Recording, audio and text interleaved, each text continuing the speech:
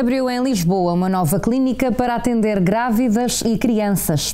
A clínica Nascer e Crescer pretende dar resposta a cerca de 700 grávidas e 2.500 crianças até aos dois anos sem médico de família. Desde que abriu as portas há duas semanas, a clínica já recebeu 80 referenciações de crianças e cerca de 40 grávidas que não tiveram qualquer tipo de vigilância. Segundo a luz, a clínica Nascer e Crescer foi inaugurada hoje pela Ministra da Saúde. Em declarações aos jornalistas, Ana Paula Martins disse que haverá nos próximos meses um aumento deste tipo de clínicas. Esta é uma unidade piloto, como os senhores jornalistas e as senhoras jornalistas perceberam, que uh, nasce uh, do talento e da criatividade da Unidade Local de Saúde de São José.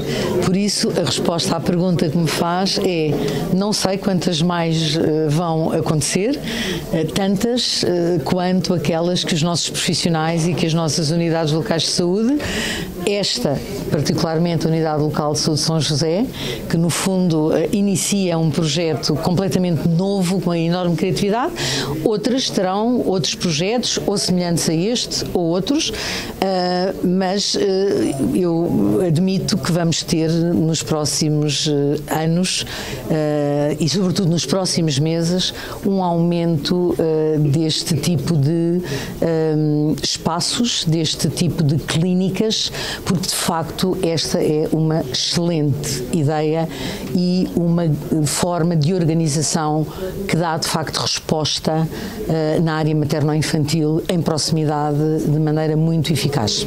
Na clínica trabalham três enfermeiros especialistas de saúde materna e infantil e seis especialistas de medicina geral e familiar. O objetivo é dar uma resposta consolidada e não criar falsas expectativas à população. No entanto, o diretor clínico da Unidade Local de Saúde explicou que a clínica trabalha em articulação com a maternidade Alfredo da Costa e com o Hospital Pediátrico Dona Estefânia, defendendo que se as grávidas e as crianças estiverem bem vigiadas, haverá uma redução de incidentes de saúde tudo aquilo que for necessário, nós, nós atuamos em articulação com a, com a MAC e com a, com a Estefânia. Tudo o que for necessário da parte deles, para nós, nós iremos colaborar e, e vai ser recíproco. Por isso, nós acreditamos que se tivermos as nossas grávidas bem vigiadas, as nossas crianças bem vigiadas, há uma redução de, de, de incidentes de saúde eh, praticamente eh, bem acentuada. O objetivo é que uma grávida tenha no mínimo cinco consultas de vigilância, mais a revisão de parto, e a criança tenha no primeiro ano de vida seis consultas de vigilância, cumprindo as orientações da Direção-Geral da Saúde.